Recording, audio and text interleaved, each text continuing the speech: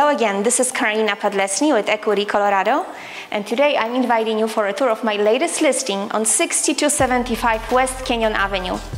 Highly desired, well-established neighborhood of Columbine Hills with parks, playgrounds, walking and biking trails just outside your door.